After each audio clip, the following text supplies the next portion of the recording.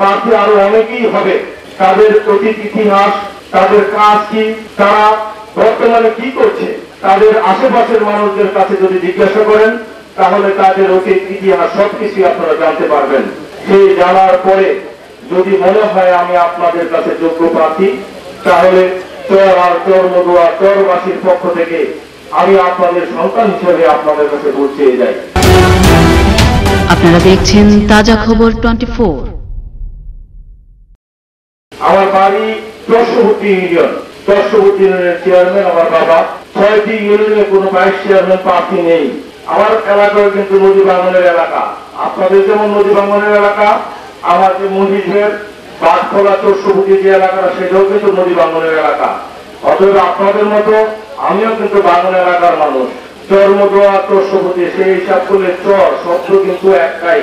এবার যেহেতু আপনাদের ভাইস চেয়ারম্যান প্রার্থী নেই আপনাদের এলাকা থেকে আমি আপনাদের চরের ভাইস চেয়ারম্যান প্রার্থী।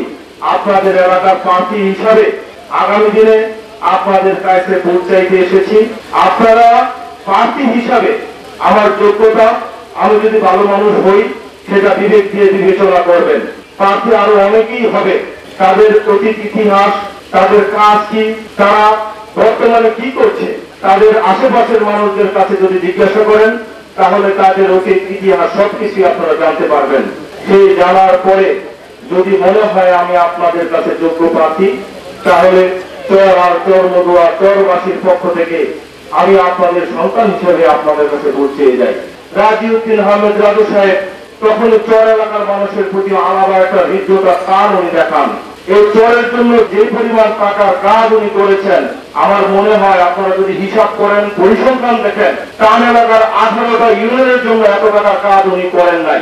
আমি জানি আমার চর্ষবুদ্ধি ইউনিয়নে সর্বোচ্চ হইলে হয়তো চোদ্দ পনেরো কোটি টাকার কাজ হয়েছে।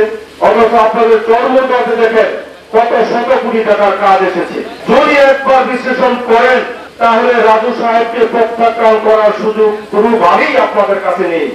তাহলে বর্তমানে লাইলাগানির জাতীয়পা গত এক বছরে যেই পরিমাণ কাজ এই ছয় ইউনিয়নে দিয়েছেন, আমার মনে হয় গত দশ বছরের কাজের পরিমাণ এই এক বছরের কাজের পরিমাণের কাছে কিছুই না। চর আর পার, চর আর কার এই শব্দটা কিন্তু রাজু সাহেব শুনতে ভালোবাসেন না। যেই কারণে আপনারা দেখেন, মেঘনা ব্রিজ বারোশো কোটি টাকার কাজ। যে মেঘনা ব্রিজ এক থেকে পাশ হয়েছে, আলহামদুলিল্লাহ খুব শীঘ্রই হয়তো মেঘনা ব্রিজের কাজ শুরু হবে। আপনাদের চর্মদহ ব্রিজ, এই ব্রিজ যে আলহামদুলিল্লাহ এক থেকে পাশ হয়েছে। এই কাজটিও খুব শীঘ্রই আপনাদের শুরু হবে ইনশাল্লাহ যে চরে ডাইরেক্ট নরসিংদী থেকে গাড়ি নিয়ে চর মুদ্রাতে আসবে, এই জিনিসটা একটা সময় কিন্তু কল্পনাও করা যেত না। রাজু সাহেব মিথ্যা কথার ফুলজুরি ছুটান না। রাজু সাহেব মিথ্যা আশ্বাস দেন না। রাজু সাহেব কাজ করেন, তারপরে বলেন যে এই কাজ আপনাদেরকে করে দিলাম। রাজু সাহেব কখনো মিথ্যা আশ্বাস দিয়ে, কখনো মিথ্যা আস্ফলন দিয়ে এই মানুষদেরকে মিথ্যা স্বপ্ন দেখান না। আজকে চরে বিদ্যুৎ এসছে রাস্তাঘাট হয়েছে। চরের এক কিলোমিটার রাস্তা করতে যে পরিমাণ টাকা খরচ হয়। আমাদের টানে এই এক কিলোমিটারের রাস্তা দিয়ে দশ কিলোমিটার রাস্তা হবে। যত কাজ, একশো টাকার কাজ হচ্ছে সত্তর টাকার কাজই চলে হয়। তো আপনারা এই মানুষটাকে অসম্মান করেন না। আমি আপনাদের কাছে বিনীত অনুরোধ রাখব। রাজু সাহেব যে প্যানেল দিয়েছেন, সেই প্যানেলের মানুষ যারা আছে, তাদের যদি একটু যোগ্যতা বিচার করেন।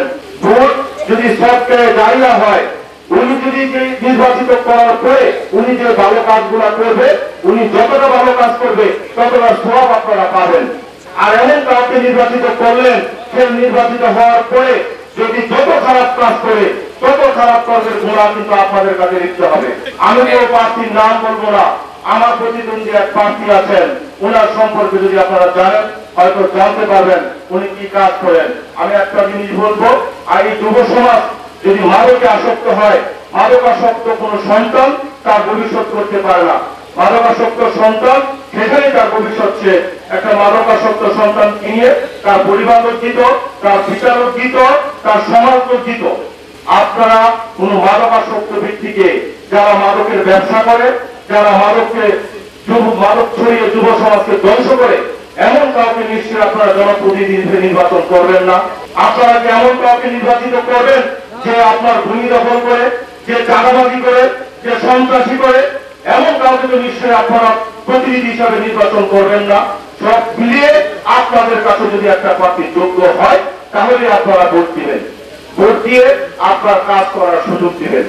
আমি স্বপ্ন দেখি তরুণ প্রজন্মের প্রতিনিধি হিসাবে এই রায়পুরা উপজেলাটা বাংলাদেশের মধ্যে একটি মডেল উপজেলা হবে। তো সেই হিসাবে কাজ কিন্তু চলছে। আগামী দিনেও খুব বেশি কাজ বাকি নেই। মাত্র হয়তো আর বিশ পার্সেন্ট কাজ বাকি আছে।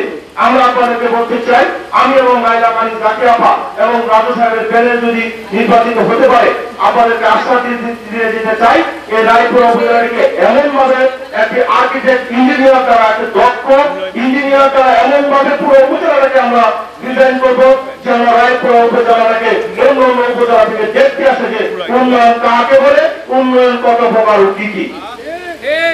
এই আশ্বাস রেখে আগামী দিনে আপনাদের সন্তান হিসাবে, আপনাদের ভাই হিসাবে আপনাদের কাছে বুঝছে আমি আপনাদের কাছ থেকে বিদায় নিলাম। আমাকে আমার কথায় যদি কেউ কষ্ট পেয়ে থাকেন, ক্ষমা সুন্দর দৃষ্টিতে দেখবেন। সকলকে ধন্যবাদ, সকলকে সালাম। আসসালামু আলাইকুম। জয় বাংলা, জয় বঙ্গবন্ধু।